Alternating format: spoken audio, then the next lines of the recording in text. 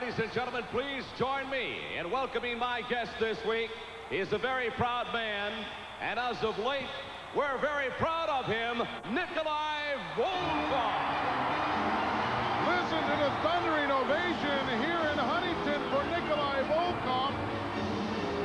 He comes down waving the stars and stripes to the strains of John Philip Sousa.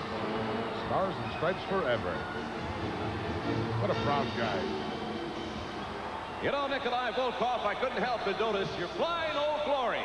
That's the same flag, as I recall, that was presented to you by Hacksaw Jim Duggan recently on the Superstars of Wrestling and the Brother Love Show. I want to present to you, Nikolai, the red, white,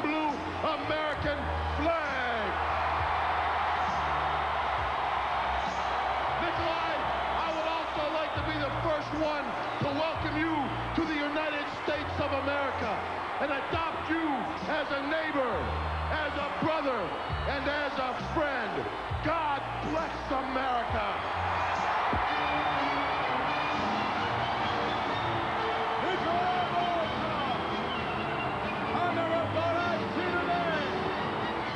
And you know something? That, that has got to be a tremendous feeling for you, and you've got to be very proud of Hacksaw Jim Duggan for giving you that flag. Yes, Ben Gene. I never been more happy in my whole life. I'd like to thank Jim Duggan for giving me this flag because the first time in my life I had my eyes open. I know what I'm going for, and I believe that's the best thing ever happened to me.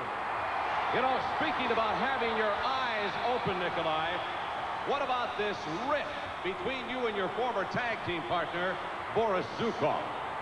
That's the only mistake I ever made. I turned my back on my partner. He come behind me, clever me. But that's all right because I have no respect for the people or for the guys who like to fight from behind the back. I like to go right in front and fight like men, man to man, and don't be scared of anybody.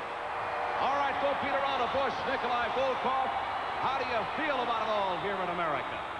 I never feel better because every time I go in the ring, take American flag very high in the air, and I know all the American people love it, all the Russian people love it, especially those Russian people who fight for the freedom. That's only say one thing. God bless America and take freedom. God bless America. I love it. Who would ever think that we'd hear Nikolai Volkoff say, God bless America?